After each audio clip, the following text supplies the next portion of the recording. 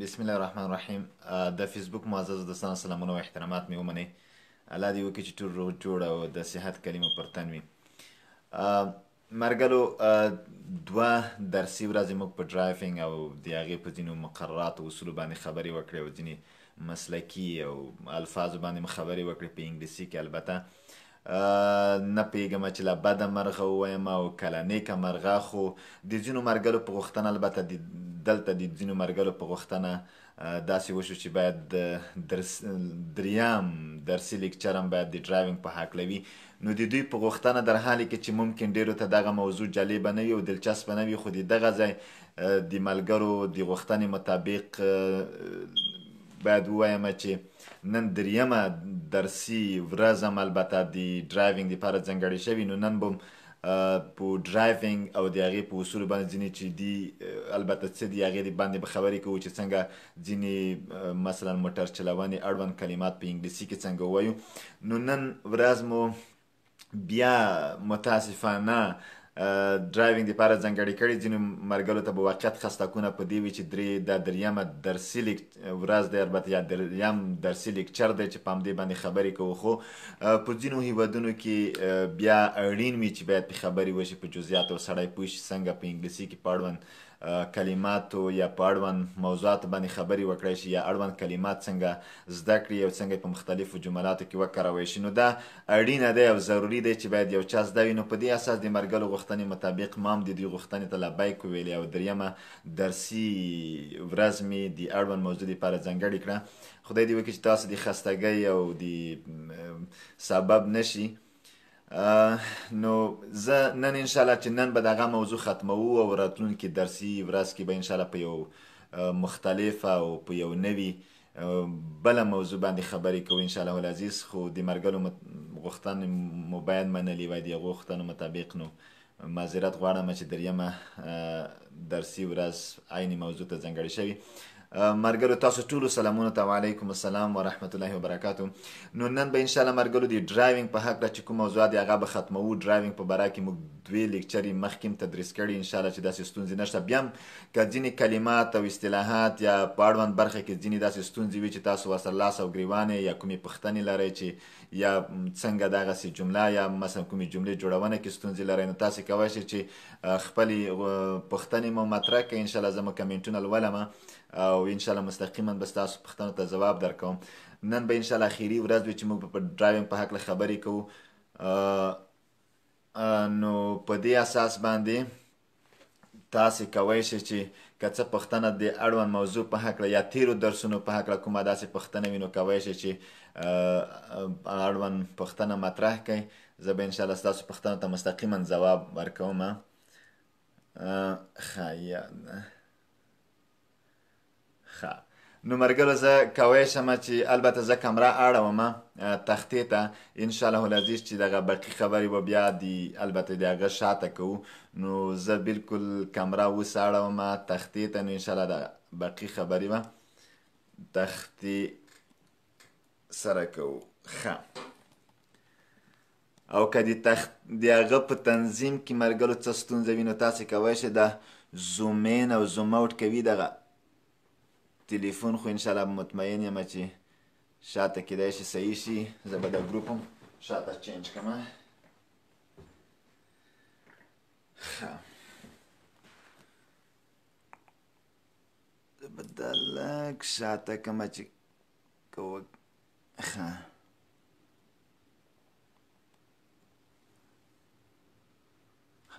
الله دی وکي مرګلو چې تخته صاف وي نن به ان شاء الله دغه موضوع باندې موضوع به ختمو ځینې اړین موضوعات و چې پاتې وو دغه د وخت د کم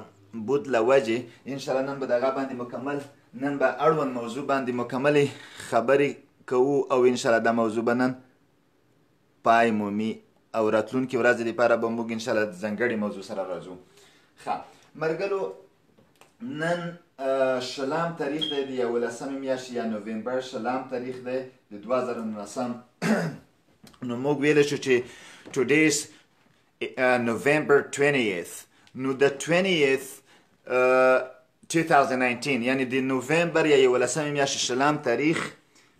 او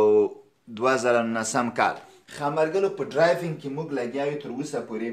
موږ ځینې مهم اصطلاحات کلمات له تر اوسه نه و تدریس کړي هغه د ټرن په هکله وو مثلا رایټ خي طرف ته او لیفټ چاپ طرف ته وایي رایټ خي طرف او لیفټ چاپ طرف ښه نو موږ چې وایو چې خي طرف ته تاو شه موږ په دوو طریقو سره ویلی شو ټرن که امر شي ځکه ورب کله چې ابتدا کې راشي امپیریټیو سنټنسز کې موږ ویلی و چې هغه د امر دپاره کارول کیږي نو موږ چې چې ټرن رایټ یعنی ښي طرف تاو شه دا امر دی ټرن رایټ یعنی ښي طرف تاو شه ټرن رایټ دلته ټرن د تویدلو په معنا راځي تویدل یا دور خوړل ټرن رایټ یعنی ښي طرف تاو شه یا ښي طرف دور وخوره او که موږ وایو چې چپ طرف ته خو مرګلو دې ته مو فکر وي رایټ موږ په حقوقي اصطلاحاتو کې هم تدریس کړی دی رایټ ډېرې مختلفې معناګانې لري چې رایټ دلته د ښي په معنا راځي او رایټ په حقوقي اصطلاحاتو کې موږ د حق په معنا هم تدریس کړی و چې حق ته هم وایي حق it is You are right. دا ستا حق ده. It is my right. It's not your right. It is not his right. دا د هغه د ما حق نه دی. نو په دې اساس د right لپاره موږ په کله چې په ډرایوینګ کې دا خبرې کوو د حق په معنا نه راځي. نو turn right یعنی خي طرف ته تاو شه د جی ایچ دی آی نه وروسته راغلی ما تاسو ته د سایلنټ حروفو په باره کې ویلي وو چې کله آی نه وروسته جی ایچ راشي د جی ایچ قطن نه تلفظ کیږي مخکې میم درته ویلي وو لکه های نو های فایټ لایټ رایټ مایټ نو دا ټوله چې کله آی نه شاته جی ایچ راشي موږ ویلي وو چې دا نه تلفظ کیږي د جی ایچ نو په دې اساس دا رایټ به وایي رایټ دی خي طرف خو معنا دلته راځي ټرن رایټ یعنی خی طرف ته تاو شو بخیر چې دغه کمره فکر کوم ماته خو ډیر خیره خی ها ها ټرن رایټ یعنی خی طرف ته تاو شه یو او یا ټرن لیفت لیفت بیا چاپ طرف ته وایي که موږ وایو چې چاپ طرف ته تاو شه نو بیا به لیفت کلمه کاروو ټرن لیفت یعنی چاپ طرف ته تاو شه ښه بل مرګرو که چیرته موږ دا د اسم په صفت وکاروو خي طرف ته ویدنه یا چپ طرف ته ویدنه نو موږ د اسم په توګه چې کله کاروو بیا داسې وایو رایټ رایټ ټرن یعنی خی طرف ته ویدن او که لیفت طرف ته یا چاپ طرف ته وایو موږ وایو چې لیفت ټرن نو کله چې داسې د اسم په توګه دا کاروو لکه رایټ ټرن یا لیفت ټرن دغس یا خی طرف ته ویدنه یا چاپ طرف ته ویدنه نو د دې لپاره موږ بیا مجبور یو چې یو بل ورب وکاروو کله چې بل ورب کاروو د دوی لپاره به بیا موږ میک کاروو میک میک جوړول خو میک ا رایټ ټرن که دلته میک ا رایټ ټرن مثلا یا میک ا رایټ ټرن یا میک ا لیفت ټرن یعنی خی طرف ته ویدنه میک ا رایټ ټرن یعنی خی طرف ته شه میک ا لیفت ټرن یعنی چاپ طرف ته تاو شه دا کله چې د اسم په توګه وکارول شي نو موږ بل ورب ته ضرورت لرو چې هغه ورب چې د سره کارول کیږي ابا میک وي نو کله چې موږ وایو میک ا رایټ ټرن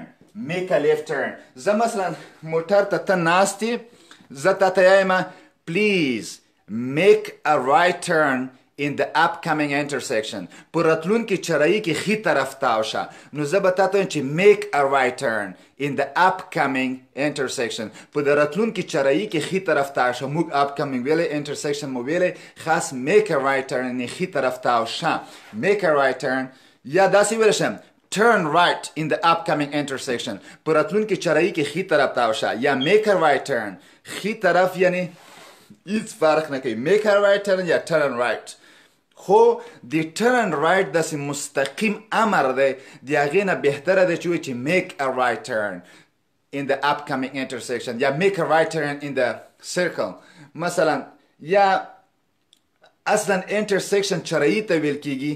او برټش کې اکثره د چرایي لپاره د انټرسیکشن په ځای هغه کراس روډ استفاده کوي خو دواړه مترادفي کلمات دي خاص برټش امریکن کې کراس روډ یا انټرسیکشن دواړه د چرایي لپاره کارول کیږي مشکل نشته نو موږ ویل شو چې ټرن رائټ ان د اپ کمینګ انټرسیکشن یا میک ا رائټ ټرن ان د اپ کمینګ انټرسیکشن یا ټرن لیفټ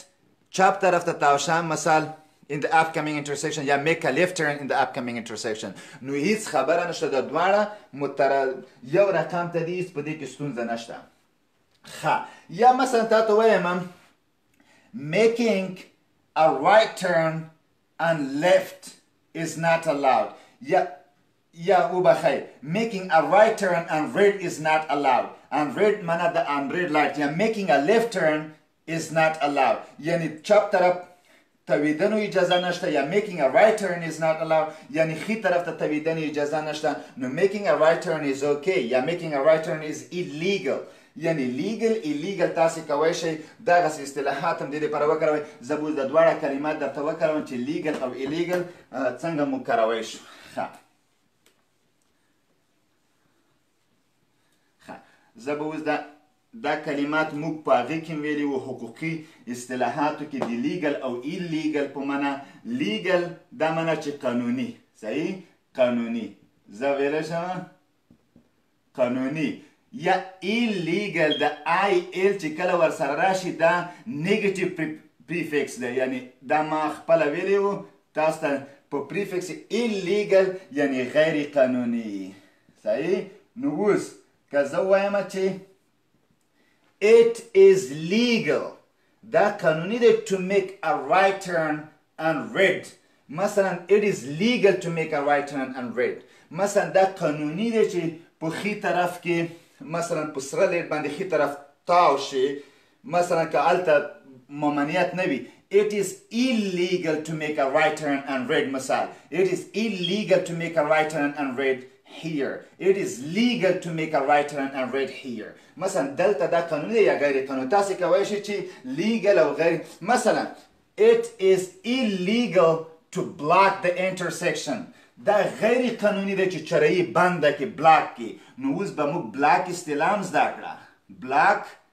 دا معنی بندول یا بلاک کول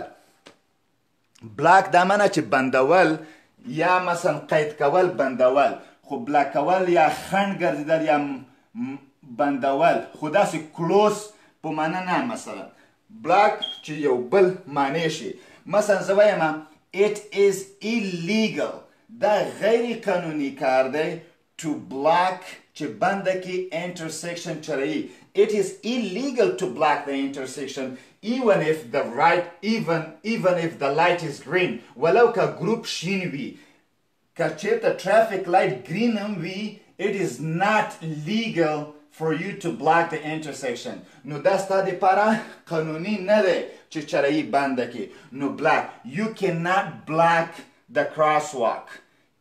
کراس واک یعنی ته نشي بندوای مرګلو کراس واک ما اصطلاح بل وکروله د کراس واک په نامه کراس تیریدلو ته وایي کراس کول ځکه دغه وجه ده چې برټش کې چرایي ته کراس روډ یايي کراس روډ ځکه ورته وایي چې دغه دغه خط چې دی د بل خط دغه خط کراس کړی دی نو کراس چې داسې کراس کول یو شای کراس کوي نو که چیرته دغه سرک وي دغه مثلا دا سرک دی دا یو لین دی مثال دا بل لین دی او داسې چې څوک دې سرک نه داسې مثال که پوری کیږي یا دلته داسې پوری کیږي دغه ته کراس واک وایي چې یو سرک نه یو غاړې نه بلې غاړې ته پورې کېږي دا کراس واک دی دې دپاره کراس واک کلمه کرول کېږي خو زه وایم چې اټ از ایلیګل دا غیر قانوني دی ټو بلاک چې بنده کې د کراس واک It is illegal to block the crosswalk. دا غیر قانوني کار دی چې کراس واک بند کړي ځکه چې دلته پیډیسټریانز یا پیاده رو کسان تیریږي په دغه کراس واک کې که ته باندې کې نو دا خو غیر قانون دی لکه دی یا خلاف دی د ترافیکي اصولو نو په دې اساس کراس واک دغه ته کیږي چې داسې تیریږي او دغه سرک بغل کې مرګلو دلته هم یو پیاده رو غونتی وي داسې کسان دي سرک بغل کې نو دغه چې بغل کې ځي دغه ته پیومنټ په امریکن انګلیش کې وایي ما مخکې درته ویلی پیومنټ پیومنټ یا په برټش کې دې لپاره ساید واک وایي ساید واک برټش کې ساید واک په امریکن کې پیومنټ او داسې چې پوری کیږي داسې دغه به داسې پوری دغه کراس واک او دې ته ساید واک په برټش کې او پیومنټ په هغه کې امریکن انګلیش کې ورته ویل کیږي ځکه پیډیسټرینز دا دواړه کاروي پیډیسټرینز هغه کاس ته چې هغه پلی دي هغه پلی شخص لپاره کارول کیږي ښه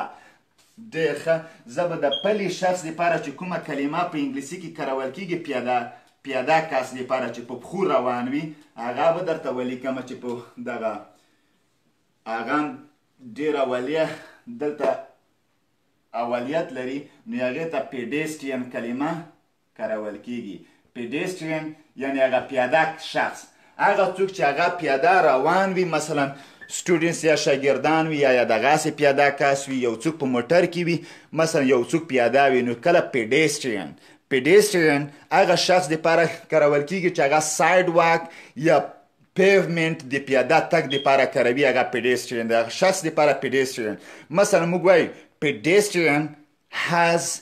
The right of way یعنی پیاده شخص حق اولیت لري یعنی هغه د تک حق لري چې اول حق اولیت د لارې لري هغه ته باید لاره ورکړی شي هغه چې تیریږي موټرونه باید ودرېږي هغې ته حق اولیت ورکړي نو موږ په رایټ اف وی باندې مخکې خبرې کړې وي چې پیډیسین هز رایټ دلته رایټ د ښي طرف په معنا نه بلکې دلته رایټ د حق په معنا راځي لکه مخکې ما درته ویلې Pedestrian has right of way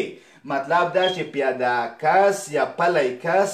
د حق اولیت یا د لارې حق لري د اولیت مطلب دی د تګ اولیت حق لري چې مثلا دته باید لومړیتوب ورکړی شي چې دا لاړ شي نو رایټ اف وی دا منه چې د لارې یا حق ورکونه یا اولیت یا لومړیتوب ورکونه د تګ نو دوی دې لپاره دغه کلمه کارول کېږي. مخکې ما په رایټ اف وې باندې خبرې کړې وې. دې کې به ان شاء الله چې ستونزه نه وي. ښه بله مهمه خبره مرګلو موږ په دا معنی دا نیم کړی وی چې ما درته ویلو چې څنګه وایي چې سپیډ موټر ته سپیډ اپ یعنی تیز کا یا انکریز د سپیډ یعنی سپیډ زیات کا یا ډیکریز د سپیډ یعنی سپیډ د کم کا انکریز د سپیډ یا ډیکریز د سپیډ دغسې د سپيډ يا سرعت زياتولو او که يا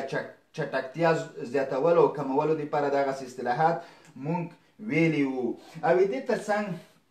موږ بل که داسې اوس بریک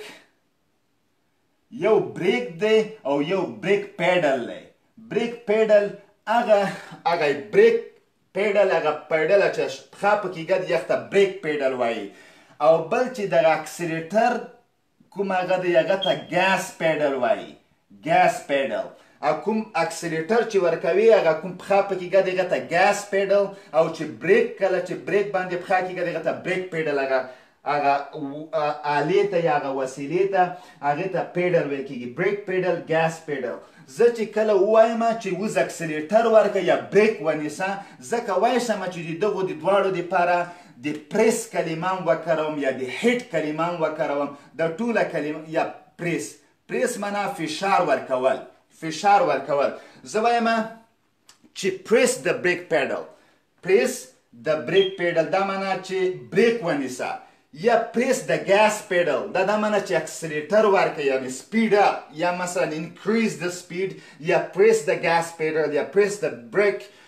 پېډل نو زه کوای شم چې تاسو یعنی بریک ونیسه پریس د بریک پېډل یا پریس د ګاس پېډل یا هیټ د بریک پېډل یا هیټ د ګاس پېډل تاسو د هیټ یا د دغه کلمه هم کاروای شئ ځکه تا ته وایم چې پلیز سپیډ اپ یا پلیز پریس د ګاس پېډل یعنی دغه اکسلیټر باندې پخه ټینګه کا نو موږ چې کله پښتو کې وایو چې اکسلیټر باندې پخه ټینګه کا یا اکسلیټر ورکا نو په انګلیسي کې وایي چې پریس Press the gas pedal نو د ګاز پیډل یا د هغه اکسلیټر لپاره پریس یا هیټ کلمه مونږ کاروای شو ښه نو دا بله هغه وه اصطلاح وه چې تاسو باید په دې کې پوه شئ په البته ډرایوینګ اصولو کې ښه او بل مرګلو یو کا فکر مو وي اشاره دی موږ ښي طرف ته اشاره لرو او چاپ طرف ته چې تاویږي هغه چاپ اشاره لرو هغه بلینکینګ چې کوي دغسې چې هغه ته امریکن کې بلینکرز هغه اشاره ته بلینکرز بلینک اصلا سترګک وهلو تم وایي نو هغې ته ځکه بلینکرز بلینکرز ځکه ورته وایي چې هغه داسې سترګه غونتي وایي هغه اشاره چې ووایي ښي طرف ته ته ویدو داسې بلینکینګ کوي هغه ته بلینکرز یا په برټش کې انډیکیټرز هم ورته وایي انډیکیټرز انډیکیټ یمنا خودل داسې نشه دا انډیکیټرز چې شي دا به بیا په او انډیکیټرز نو دا غسي هغه ته ویل کیږي هغه چې موږ وایو چې اشاره هغې اشارې کړه پلیز سیګنل سیګنل ټو د رایټ سیګنل ټو د لیفټ یغې کلمې دپاره موږ سیګنل کلمه کاروو که تاسې مرګلو متوجه وای ما تاسو ته سیګنل وویل چې اشارې ته وایي سیګنل معنا اشاره صحیح ما درته ویلي چې ټرافیک سیګنل دا معنا چې ټرافیک لایټ که فکر نوي ما درته ټرافیک سیګنل یا ترافیکي سیګنل یا ټرافیک لایټ یا ترافیکي اشاره نو ټرافیک سیګنل مثلا ریډ لایټ یا مثلا یلو لایټ یا ګرین لایټ د ټریفیک سیګنل یا ټریفیک لایټ هم ورته ویل کېږي د ټریفیک لایټ از ریډ یا مثلا دیر از ا ټریفیک لایټ مثلا there are traffic lights in the upcoming intersection پر راتلونکي کې ترافیکي اشارې دي نو سیګنل اصلا د هغه اشارې دی لپاره کارول کیږي خو سیګنل هم لکه دلته ناون دی هم ورب دی که زه تا ته وایم چې سیګنل ټو د رایټ دا معنی چې خی اشاره دی خی طرف اشاره دی ووایه نو سیګنل when you are making a right turn you should signal first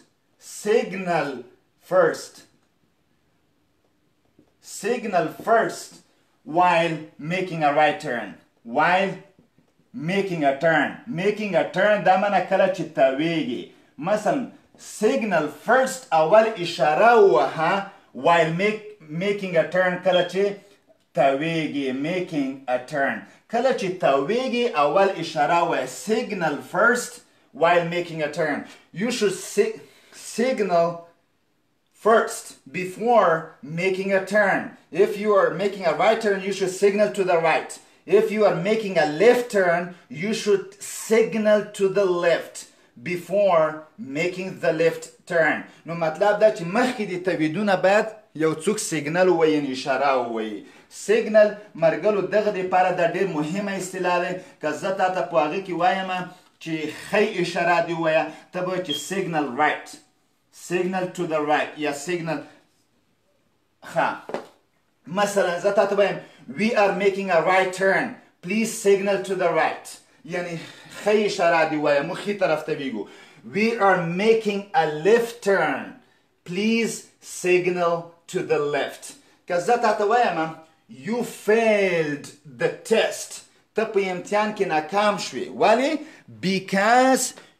You were making a right turn but you did not signal to the right ځکه چې تا خي طرف ته تویدې خو یې خي طرف سیګنل یعنی خي طرف تویدو اشاره دی ونه وهله نو دې لپاره دغه وجه لري مرګلو چې ټیسټ یا امتحان کې دا شیان ډیر مهم دي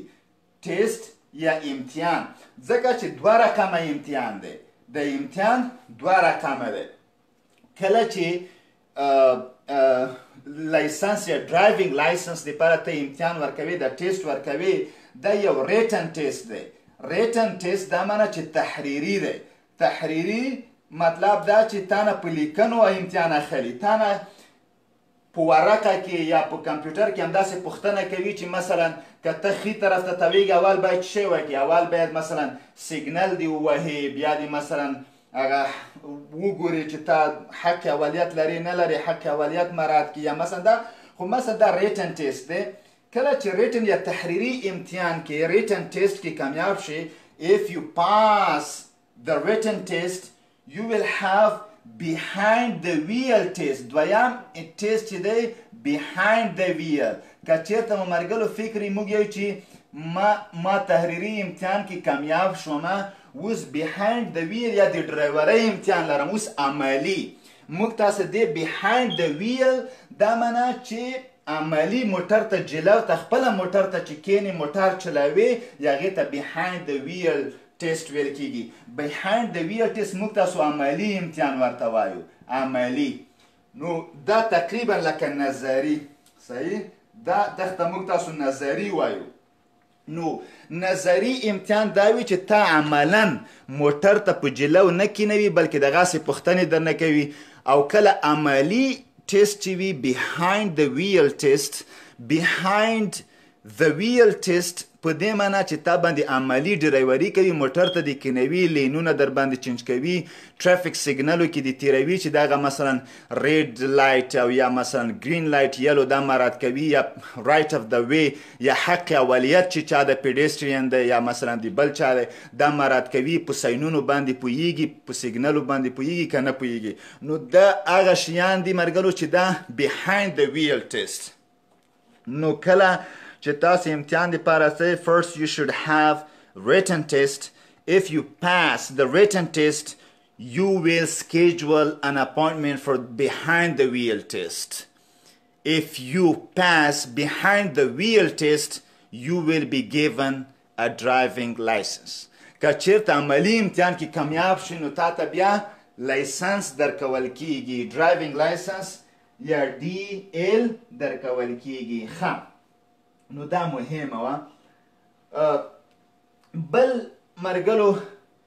ېې دې تر څنګ چې ځینو ځینو نورو مواردو باندې باید خبرې وشي دا ډیر مهم دي چې تاسو په دغو اصطلاحاتو او کلماتو باندې پوه شئ بل مرګلو پارک پارک ډیر مهم دی پارک کته مثلا پارک موټر درونې ته وایي موټر درول مثلا یو چیرته روان یې بیا کله چې کور ته راورسېدې موټر دې پارک کوې یعنی موټر دې دروي نو هغې ته پارک وایي پارک ورب دی دلته د موټر درولو خو دا هغه پارک نه دی مرګلو چې هغه ماشومان کمیونټي پارکونه وي چې ماشومان پکې لوبې کوي ا پارک نه دی موږ اوس د ټرافیک اصولو مطابق چې غږیږو نو تاسو به هغه پارک ته هدف نه اخلی پارک ورب په مطلب دا چې درونه وبخی درول نو مطلب دا پارک زه تاته وایم پلیز پارک یور کار رایټ دیر موټر دی هلته ودروه You cannot park your car here. موټر دې دلته نشي دروای. It is illegal to park your car right here. دا غیر قانوني کار دی چې موټر دې دلته ودروي. It is legal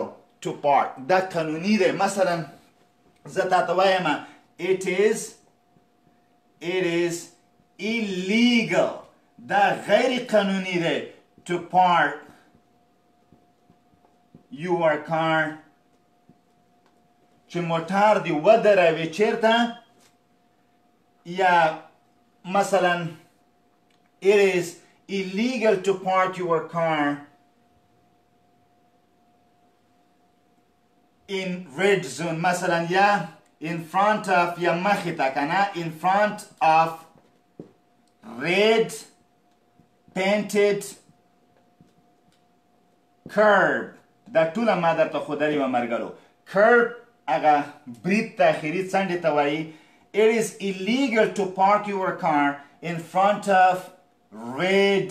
painted curb مرګلو ما درته ویل چې هغه خنډ چې د سرک په غاړه کې داسې یو دغ طرف ته یو موانع غونته لګېدلې وي هغه دغه دغه دغ ته کرب ویل کېږي دغه کرب کېدای شي چې ریډ وي دغه کرب کېدای شي چې ګرین وي او دغه کرب کېدای شي چې مثلا وایټ وي او دغه کرب کیدای شي چې یلو وي او دا حتی کیدای شي چې بلو وي نو دغه کرب مختلف رنګونه لري هر رنګ یو مفهوم لري نو ته کله چې د کرب ریډ وي دا د منه چې نو پارکینګ اني ټایم نو پارک نو مطلب دا چې it is illegal to park your car in front of the red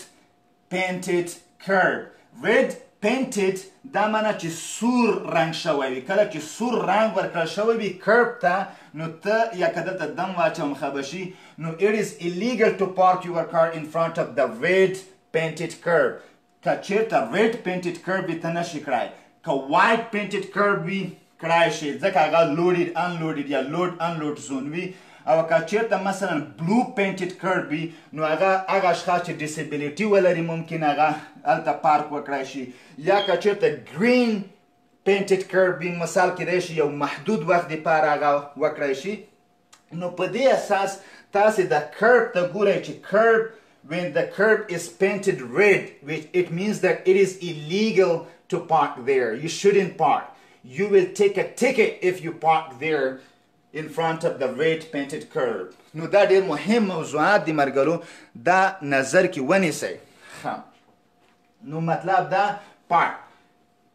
پارک دا د ورب په معنا او د چشي په معنا د ورب په معنا د موټر یعنی فعل چې درولو ته وایي موټر درول یا موت ښه او که چیرته ما تاسو ته قاعده ښودلې وه چې که چیرته اینجی ورچوو پارکینګ نو پارکینګ دا بیا ناون ته بلیږي ځکه جرن غونتی شي کنه ing ing form of a verb functions as a noun is called جرن نو په جرن باندې مو خبرې کوي پارکینګ نو کله چې پارکینګ شي بیا هغه درونې ته وایي دلته په امریکا کې پارکینګ لاټ پارکینګ لاټ هغه ځنګړي ځای ته ویل کیږي چې هغلته تاسو قانونا موټر دروای شئ پارکینګ لاټ مثلا که چیرته سټور وي یا یو فروشګاه وي مثلا یا مکتب وي یا پوهنتون وي هغه خپل د موټر درونې لپاره خپل مشخص ځایونه لري یا پارکینګونه لري موږ تاسو پارکینګ هغه ته موږ تاسو پارکینګ وایو د اصطلاح کې نو هغه لپاره پارکینګ لاټ پارکینګ لاټ یعنی مطلب د موټر درونې ځای دا اسم دی نو تاسو کوی شئ you cannot park your car here take your car to the parking lot یعنی مطلب دا ته د موټر درته نشي دروي موټر د پارکینګ لاټ ته بوزه یعنی هغه موټرو تقریبا تمځای یا موټرو د درونې ځای البته یعنی موټر تمځای خو نه هغه خو لکه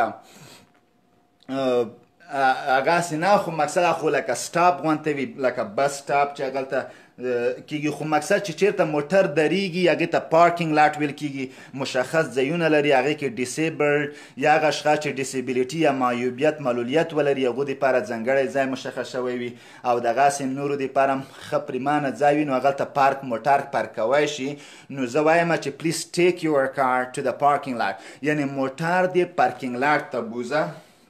ښه ټیک بیولو په معنا دلته راځي ټیک بیول ټیک یور کار یعنی موټر دی بوزه ټیک یور کار ټو د پارکینګ لاټ یعنی موټر دی بوزه پارکینګ لاټ ته ښه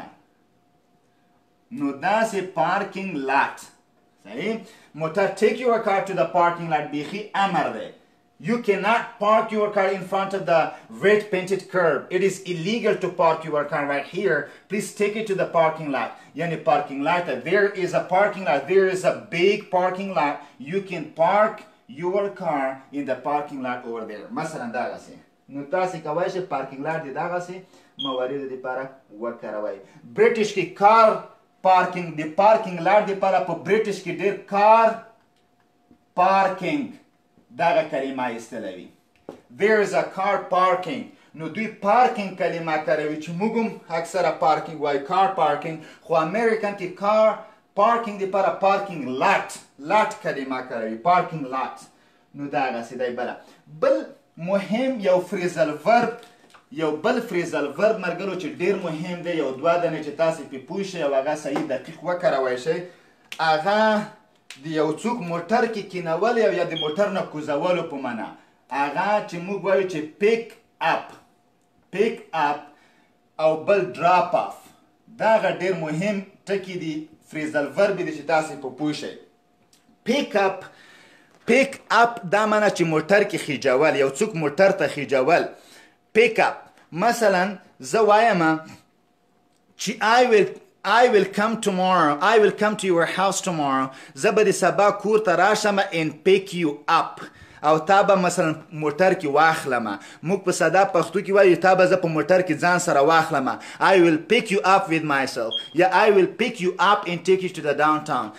مثلا تا به موټر کې واخلم او بازار ته به دې بوزم ځکه موږ مخکې ټیک وویل چې د بولو په معنا راځي مثلا زه تا ته وایم چې مای کار از بروکن زما موټر خراب دی پلیز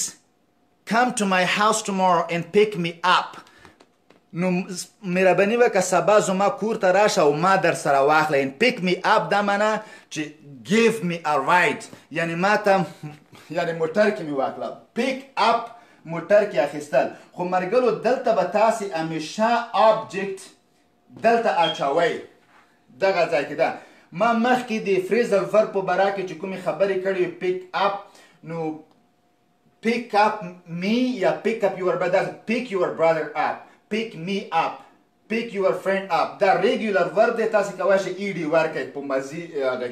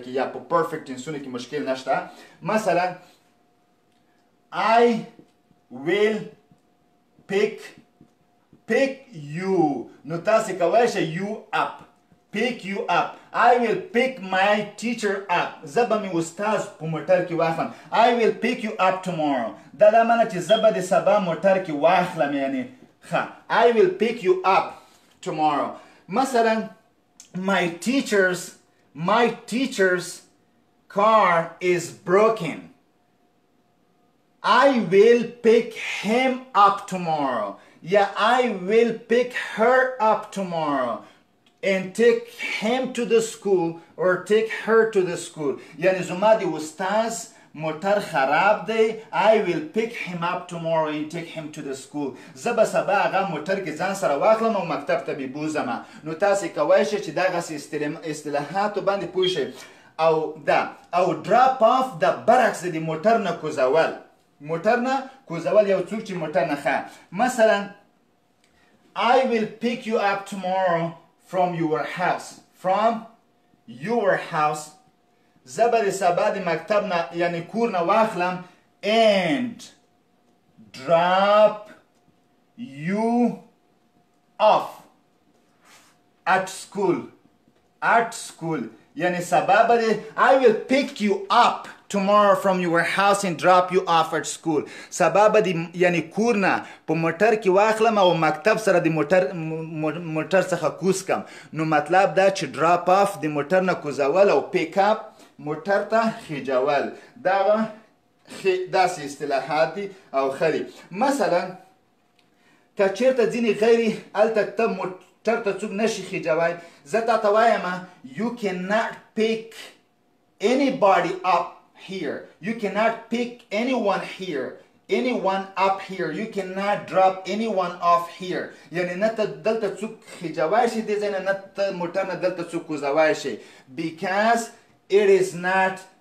a pick up or drop off area ځکه دا د کوزونو یا پورته کونو ساحانه ده نو area دا معنا چې د ساحه منطقه زه اوس د ایریا په برا کې اوس نوره اغم راغله نو دې لپاره چې کله مرګرو ځینې ساحې مشخصې شوې وي یعنی نو د پیک اپ د لوډ زون دی لوډ لوډ د ډراپ اپ د ان لوډ زون دی ان لوډ دې ته ویل کیږي پیک اپ دا معنی چې ته یو څوک لوډ کوي یعنی موټر ته خیجوي ډراپ اف دا معنی چې ان لوډ کوي یا موټر نه کوزوي ښه لوډ برولو ته وایي چې یو شی بروي ان لوډ یو شی تخلیه کوي یو موټر یا ټرک ان لوډ یعنی تخلیه کوي زه تاته وایم چې آی مثلا ما پرون دوه موټره یا ټرکه بار کړه نو ته به وایې آی لوډډ آی لوډډ ټو ټرکس ټرکس یسټرډې ما پرون دوه موټر یعنی غټ موټر چې کړه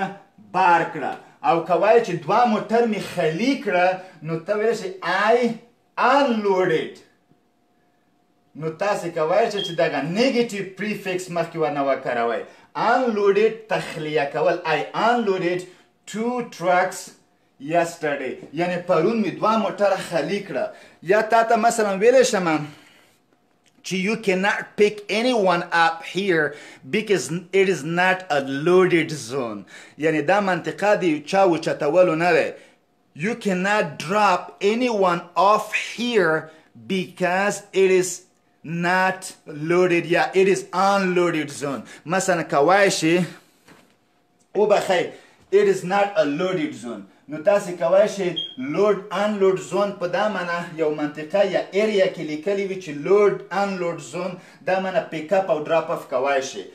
او که چیرته لوډ ان لوډ زون نه وی لیکلی نو هغلته پیک اپ دراپ بیا مثلا هلته لیکلی وی چې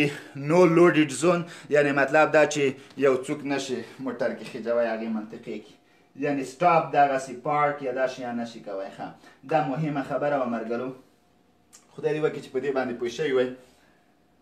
ښه دا مهمه و مرګرو دغه پیک اپ او ډراپ اف په برا کې د ناون په توګه هم کله کارول کیږي ناون کله چې ناون په توګه وکارول شي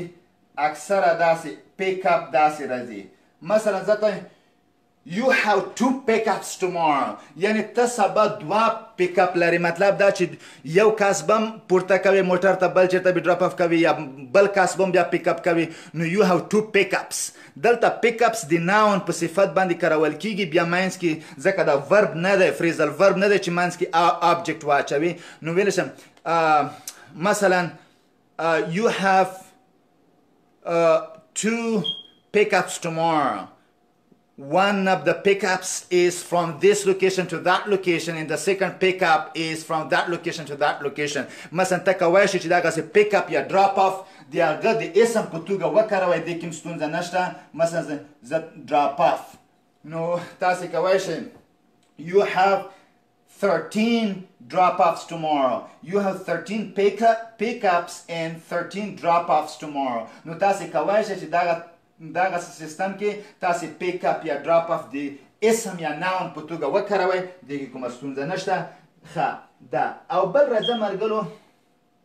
یو بل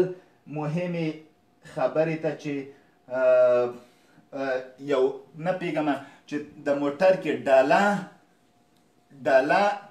یا هغه موږ ډیګی ورته وایو پاکستان کې پښتنه ډیګی ورته وایي د دری زبانه ډالا ورته وایي چې انګلیسي کې هغه ته ټرانک ټرانک ټرانک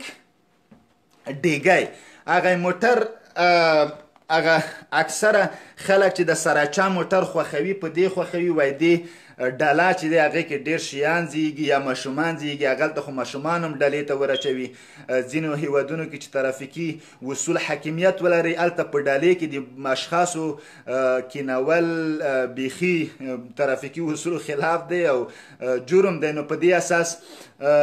البته تخلف که ووایو په حقوقي اصطلاح د جرم په نسبت دا به ډېر ښه وي جرم نه بلکې که تخلف ووایو ښه دی نو تخلف دی البته د ترافیکي اصولو او مقرراتو نه سرغړونه دی په مقابل کې سړی مجازات کیږي نو په دې اساس خو په افغانستان یا پاکستان یا ځینې داسې هیوادونو کې چلته ترافیکي اصول ډیر حاکمیت نه لري نو هغلته اکثره ډالې والا یا د ډیګی والا موټر چې هغه وي دې په خاطر چې ماشومان هم پکې کینی وای کور دی نو ماشومان به هم ډلې ته اچو نو ټرنک دغه ډلې دپاره کارول کیږي خو ټرنک دلته داسې دی چې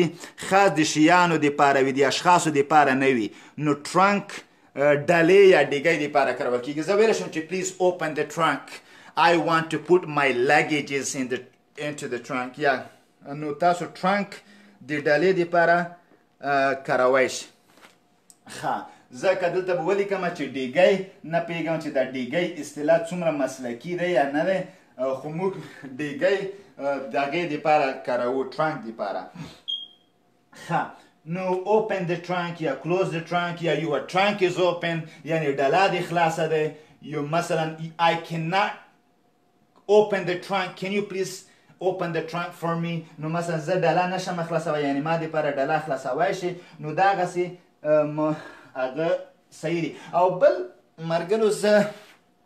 انو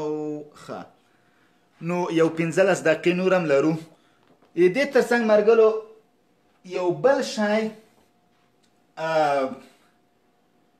باید چې تاسو وسره غشئ د بیلټ دی متاسفانه په افغانستان کې خو څوک بیلټونه نه تړي خو د بېلټ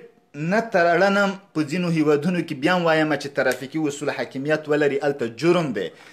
البته جرم کلمه بیا مناسبه نه و تخلف دی د ترافیکي اصولو خلاف کار دی څوک چې کمربند ونه تړي یوازینی شی چې مثلا په ځینو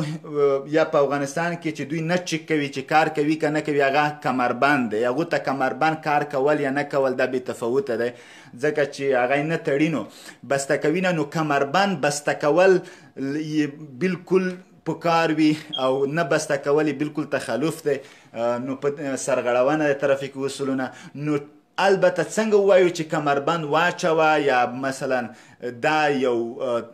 غیر قانوني کار دی چې ته کمربند بستانه کې نو د لپاره اغوستل یا ویر کلمه کارول کیږي ویر خام مثلا سیټ خو سیټ ته ویل کېږي مرګلو سیټ ای موټر سیټ چې وي هغه که فرانټ سیټ وي که بیک سیټ وي یا ریر سیټ یا بیک سیټ نو د سیټ خو معمولا اول وایم چې سیټ هغه وي چې سړی پکې کینی هغه که فرانټ سیټ وي او که بیک یا وروستنی سیټ وي او که دا فرانټ که پاسنجر سیټ وي پسنجر یعنی اسورلی طرف ته او که فرانټ ډرایور سیټ وي صحیح دی فرانټ ډرایور سیټ یعنی هغه مخکې ډرایور سیټ فرانټ پسنجر سیټ یعنی هغه مخکې دی هغه سورلی سیټ او بیک سیټ یعنی شا سیټ بیک سیټ هم بیا تقریبا ته کوی شي اشاره وکړي بیک Driver's seat یعنی مطلب دا چې هغه شاته ډرایور شاته یا پاسنجر سیټ ته کوی شي داسې دغسې سیټ اصلا هغه چې سړی پکې کینی هغه سیټ دی یا هغې دپاره د سیټ کلمه کارول کیږي او بیلټ کمربند ته وایي مرګلو بیلټ دغه بیلټ چې موږ تاسې دغه پتلون کې مچوو د هغې دپاره هم بیلټ کارول کیږي خو دا د پینټ یا د پتلون بیلټ دی هغه د سیټ بیلټ دی هغه څوک چې سیټ کې کینی او بسته کوي هغه د هغه کمربند لپاره چې کش کوي هغه د لپاره سیټ بیلټ ویل کیږي د لپاره چې مشخص شي او تفکیک وشي دی مثلا دغه د پتلون بیلټ سره نو هغه د لپاره سیټ بیلټ کلمه کارول کیږي یعنی د سیټ بیلټ کمربند هغه کمربند لپاره په انګلیسي کې سیټ بیلټ وایي او د هغه ور دا خو اسم دی اسم دی ځکه کمپاوند یا مرکب اسم دی نو هغه اصطلاح چې د کمربند اچولو لپاره کارول کیږي موږ وایو چې ویر لکه ویر کلمه ویر د سیټ بیلټ که زه ویر ښه ویر د سیټ بیلټ دا معنی چې کمربند واچوه یا کمربند بسته که نو ویر اصلا اغوستلو لپاره کارول کیږي اغوستل خو دلته د غوسه اچول تکلیف ویر د سیټ بیلټ مثلا مثلا if you not wear the seat belt you will be given a ticket یا مثلا که ته چیرته کمربند و نه چوي نو تا ته به ټیکټ درکړی شي یعنی مطلب جریمه you will be fined یعنی جریمه به شي You will pay the fine for not wearing the seat belt یعنی ته به جریمه ورکې د نه د کمربند نه چولو په نتیجه کې نو مثلا کوای شي ویر کلمه د اغوستلو لپاره خو تاسو ویر د سیټ بیلټ مطلب دا چې کمربند واچوه صحیح ده نو تاسو د کمربند اچولو لپاره دغه سي کلمه کاروای شي دا دا ډیره مهمه وه دې ترڅنګ مرګلو څمه واپس یو بلې موضوع ته چې هغه مخکې ما ایریا یا زون په برا کې خبرې وکړې صحیح دی نو هغې باندې به تاسې پوه شئ ایریا یو منطقه یا ساحه صحیح دی دغه ایریا یا منطقه یا ساحه ځینې وخت کې دغه ساحې دپاره ځینې زون دغه زون کلمه هم کارول کېږي چې دا هغه ساحه یا منطقه صحیح ده یغې لپاره یا منطقه مثلا دواړه لپاره کارول کیږي صحیح شو منطقه یا ساحه نو زون یا ایریا کلمه کارول کیږي دا ساحه یا منطقه غیا هغه محدوده نو د دې لپاره موږ ویل شو چې مثلا ایډي سکول زون سکول زون یعنی هغه منطقه چې هغلته مثلا مکتب وي کله چې مکتب حدود وي یغې د پر انګلیسي کې سکول زون وای سکول زون لکه مطلب دا چې دا ایډي سکول زون نو د سکول زون ځکه داسې منطقه یا حدود مشخص وي چې ترافیکي اصولو مطابق سکول زون کې خاص ځنګړی سپیډ یا د سرعت وي مثلا معمولا دلته 25 سپیډ یا 25 مایل په ساعت کې د سکول زون سپیډ لیمټ دی مطلب دا چې د مکتب منطقه وي په رسمیاتو کې ته قانونا باید د 25 مایل پر ساعت نه زیات سرعت ونه وایي کنی بیا سړی جریمه کیږي نو په دې اساس سکول زون دا معنا چې دا د سکول منطقه ده مثلا کوی شي ووایي چې کنستراکشن زون صحیح کنستراکشن کنستراکشن ساختمانی کارونو ته وایي کنستراکشن کنستراکشن معنا جوړونه مثلا کنسټرکشن زون مثلا ځینې وخت کې سختومني کارونه یا د جوړونې یا بسازي یا بیا جوړونه دغسې کارونو یا چارې روانې وي نو هغې ته کنسټرکشن زون ویل کېږي نو ته باید ډېر په احتیاط سره په کنسټرکشن زون کې موټر وچلوي ځلته ځکه هغلته کارونه روان دي یو طبعا لینونه به بلاک شوي وي لین یو نیم لین بلاک کېږي یو بل فرعي لین خوشی کوي نو په دې اساس هغلته لکه فلیګرز یا هغه کسان چې هغه بیرغونه ورسره دي چې ډرایوران رهنمایي کوي یا لارښوونه کوي دوی ته چې مثلا یا راځه یا سټاپ وکړه یا ورورو راځه یا ښي طرف ته ځه یا چپ طرف ته ځه نو هغه ټول هغه ورکرز یا کنسټرکشن ورکرز یا هغه د ساختماني کارګر چې دي نو هغه رهنمایي کوي ډرایورانو ته لکه انسټرکشن د هغو رهنمایي منل د هغو رهنمایي مراعات کول ډیر اړین دي په دغه موضوعاتو کې ځکه کنسټرکشن زون دی نو هغه کې هغه فلیګرز که زه درته وایم فلیګرز مرګلو هغه کسانو ته کیږي چې هغه جنډې یا بیرغونه ورسره وي هغه اشخاص چې فلیګ هغه بیرغونه ورسره وي هغه بیرغ خوروي چې ډرایور ځان ته متوجه کی چې مقصد متوجه او هغه سره ځینې ساينونه هم وي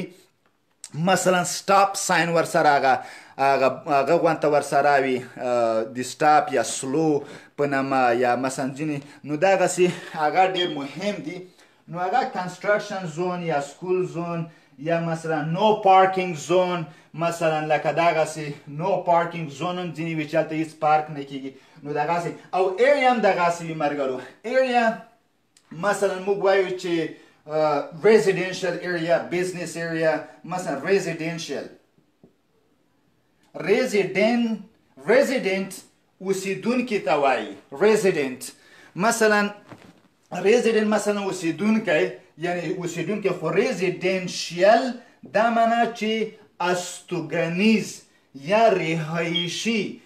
یا مثلا چی د اوسیدو د اوسیدو یا استوګنیز یا رهایشی نو دغسی رهایشی یا د اوسیدو یا استوګنیز دپاره ریزیډنشل موږ وایو چی ریزیډنشل ایریا مطلب دا ریزیډنشل ایریا هغه منطقه ته ویل کیږي یا ساحه ته ویل کیږي چې هغه د اوسیدو یا د خلکو استوګنیز کورونه هلته وجود ولري د خلکو د استوګنې یا د خلکو د اوسیدو منطقه یا ساحه وي نو هغلته هم احتیاط پکار ځکه وي چې طبعاً هغلته چې خلک اوسیږي خو طبعاً ماشومان به وي او یا به ځینې ممکن حیوانات وي یا به پیټس یا دغه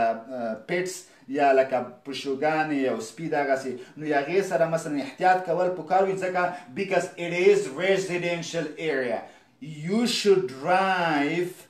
slowly and safely in residential areas یعنی ته باید په استوګنیز یا د وسیل رهایشي مناطقو کې یعنی ډیر په احتیاط او ورو ډرایوري وکړي نو دا ریزیډنشل ایریا یا مثلا بزنس ایریا مثلا ته دغسې ایریا فرق کوي مثلا موږ وایو چې لوډ ان لوډ ایریا یا لوډ ان لوډ زون ته کوای شي لکه یا داسې زه وبخی ځینو ځینو کې داسې لیکلي دي چې لوډ لوډ بیا ان لوډ لوډ ان لوډ زون دا معنی چې دلته د خلک ته یا چې کوزوای شي او جګوای هم شي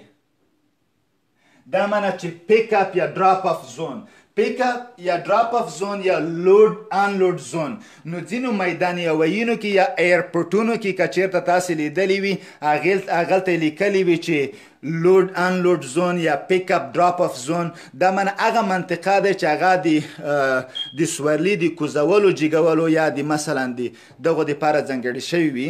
خام او یو خو بل شی ریاض شو مرګلو دی لوډ انلوډ دی پاره زه به هغې باندې هم خبرې وکړم ایریا دغسې او بزنس ایریا مثلا تاسې تجارتي ساحه یا کمرشل ایریا مثلا فرق کوي ښه زه به اوس ما وویلې چې دا به زه پاک کما ما ویل چې لوډ ان لوډ په برا کې مثلا پلیز پیک می اپ یا پیک می اپ یا گیو دلته به زه سم وان واچوم سم وان سم وان ارایډ صحیح ده give someone a ride دا معنی یو چاته چکر ورکړه یو یو څوک په موټر کې کینول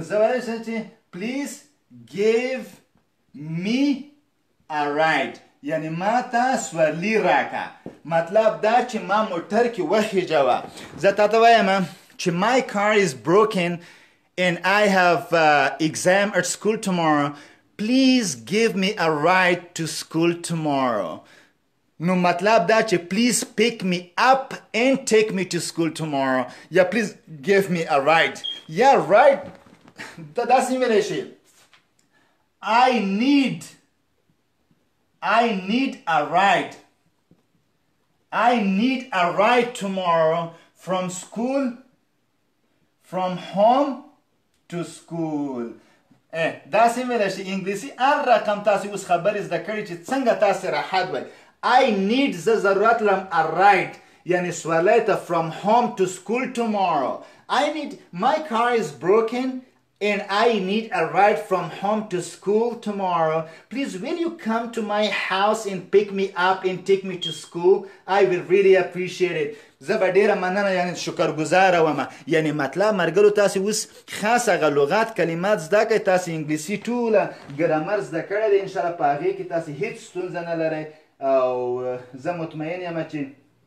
دې کې به انشاءالله تاسو ته هیڅ کومه ستونزه نه وي ښه او بل مرګلو فکر کوم چې وخت هم پوره دی او اخیری یو بل دغه لا هغه به درته وښیم یو بله کلمه درته ښیم نو فکر کوم چې دا به اخیری هغه وي ښه مرګلو یو دا چې یو د مرج کلمه ډیره عامه ده چې په هغه کې کارول کیږي د انګلیسي کې د مرج کلمه چې تاسو باید یې سره بلا شئ چې مرج څه ته ویل کیږي ښه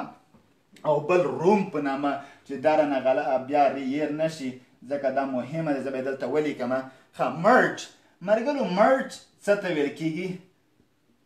مرج اصلا دې ته ویل کېږي چې یو ځای کېدل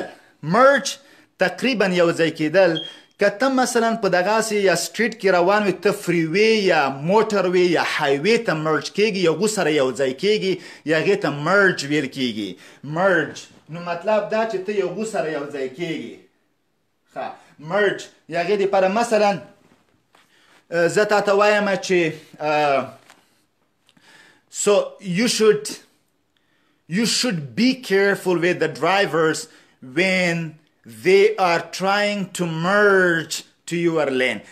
کله چې دوی کوشش کوي چې ستا لین کې مرج شي ستا لین سره یو ځای شي یعنی تا په د کتار په کوم خط سر چې تر روان دی کې غواړي چې در سره د ستا کتار ونیسي ستا طرف ونیسي نو هغه ته مرج وایي زه پلیز تا ته وایم یا په سرک روان تا ته چې د چپ طرف کې ته ځان هغه کا چپ طرف لین کې ځان ور سره یو ځای کا زه پلیز مرج ټو د لیفت مرج ټو د لیفت یعنی د چپ طرف ته ځان ور سره یو ځای کې یا مرج To the right یا خی طرف هغه سره د موټرو جریان سره ځان یو ځای کړه پلیز مرج ټو د رایټ ځکه پلیز ټیک ا رایټ ان مرج ټو د رایټ لین مثلا خي طرف دی ونیسه او دغه خي لین کې ځان مرج د دې لپاره یا مثلا you should speed up while merging to the freeway مثلا ته باید یو سرعت موټر ته دی ورکی یعنی موټر دی تیز کی کله چی دی فری وی سره ځان مرج کوی سو وایل مرجینګ ټو دی فری وی یعنی مطلب دا چی کله دی فری وی یا های وی یا موټر وی چی بریټش کی موټر وی ورته وایی های وی او فری وی دی پاره نو موټر وی سره چی کله یا فری وی سره ته ځان مرج کوی یو شوډ سپیډ اپ یو شوډ انکریز یور سپیډ وین Trying or while trying to merge to the freeway کله چې کوشش کوي چې فریوی سره ځان مرج کړي نو باید سرعت دې زیات کړي نو دې لپاره د مرج کلمه کیږي چې یو ځای کول یا یو ځای کېدل صحیح یو ځای کېدل زه به یو ځای کېدل ښه او بل چې د روم مې لیکلی دی دا مې ځکه لیکلی مرګلو چې روم په دلته اتاق ته نه وايي یا کوټې ته نه وايي ځکه دا موږ په ترافیکي اصولو غږیږو نو روم دلته ځای ته وايي ځای ځای یا خلیګا یا خلی ځای مثلا یا سپیس نو تقریبا دلته سپیس ته ویل کیږي سپیس یعنی خلیګا یا ځای مثلا زه تا ته وایم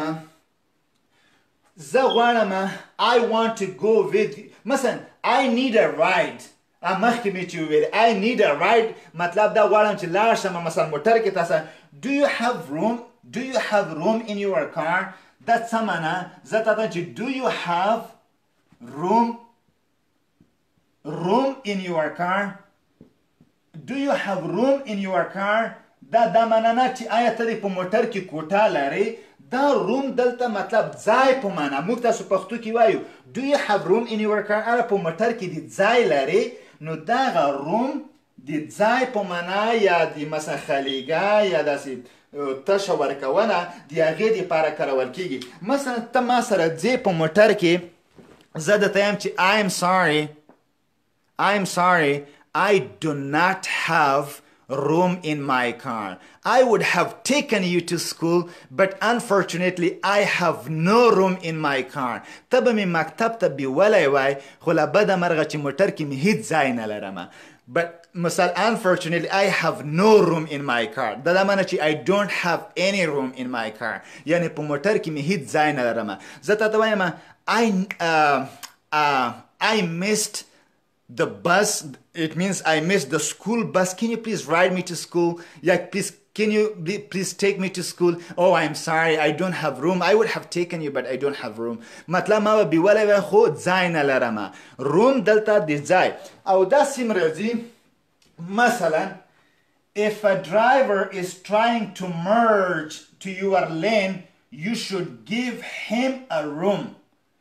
یا یو شوډ ګیو هر ا روم مطلب کله چې یو ډرایور کوشش کوي چې ستا لین کې ځان مرج کړي یو شوډ ګیو هیم اور هر ا روم ته باید هغه یا هغې ته ځای ورکړي نو روم دغسې دی دغه په معنا هم راځي مثلا چې تا سره څوک خپل لین کې مثلا دا یو سرک دی صحیح دی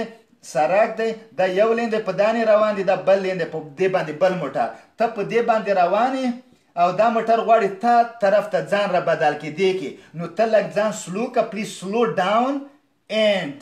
لیټ هیم مرج ټو یور لین هغه پریږده چې ستا لین کې مرج کړي ځان بیکاز یو شوډ سلو ډاون ګیو هیم ا روم اینډ ګیو هیم ا چانس ټو مرج ټو یور لین نو هغې ته یعنی اسلو شه دې ته چانس ورکړه چې ستا لین کې څنګه شي ځان یو ځای کی نو روم دلته مرګلو د دغسې ځای ورکونې لپاره کارول کیږي او دا ډیر مهمه موضوع چې تاسو باید په پوه شئ چې دغسې موارد لپاره څه کارول کیږي خا اخیری لغات به درته خیمه زه به بیا درنه رخصتی غواړم اجازت البته خا هغه کوشن په نامه د کوشن اصلا احتیاط ته ویل کیږي مرګلو خا کوشن صحیح تقریبا کوشن کوشن کوشن کاشن دې ته ویل کېږي مرګلو چې کاشن احتیاط سره تقریبا زه تا ته وایم چې while the yellow lights are flashing کله چې زیړ لایټونه فلش کوي یعنی داسې کوي فلشینګ کوي you should proceed with caution نو proceed with caution دا معنی چې باید په احتیاط سره مخکې لاړ شه په احتیاط سره ځه په احتیاط سره مخکې لاړ شه یعنی احتیاط کوه د امر دی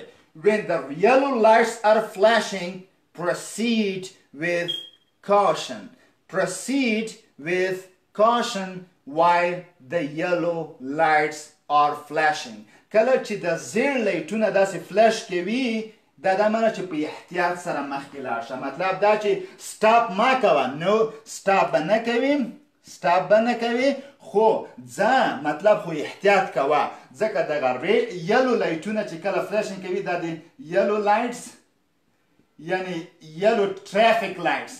یلو لایټس فلش دا دا معنی چې کله د زیړ لایټونه چې فلش کوي دغسې نو بله لکه بلینکینګ کوي نو دا معنی چې پروسید ویت کاشن مطلب احتیاط سره به مخکې ځي او دغه سټاپ ساینونه دي دغه ته ساین ویل کیږي مرګلو ساین ساین دغه ته ویل کیږي چې سټاپ ساین دی یا ییلډ ساوند ده ییلډ یا سټاپ ساين دا منه سټاپ دا منه ساين دا منه چې هلته به سټاپ کوي حق اولیت رایټ د دوی به مراد کوي چې خپل نوبت دی ورسېږي زیبه ییلډ دا معنی چی سټاپ به نه کوی خو رایټ اف وی به مرات کوی که موټر نه وځی به او که موټر و نو طبعا سټاپ به کوی دا به ته دا غسی دغته ساینونه ویل کیږی دا ساینونه دی نو اوس نو دا مرګلو نننی درس تر همدې ځای پورې بس وو ان شاء الله بعدي درس راتلونکي بل ورځ البته چې د جمعې په ورځ به وي ان شاء الله یو ځنګړي موضوع سره به بیا ستاسو په خدمت کې حاضرېږم تر بعدي درس پورې چې راتلونکې جمعې په ورځ د افغانستان په وخت د شپې په نهه بجو به یو ځنګړې موضوع وي البته یو متفاوته موضوع به وي په هغې باندې به خبرې کوو تر هغې وخته مو په لوی او متعال خدای سپارم ښه وختونه ښې چارې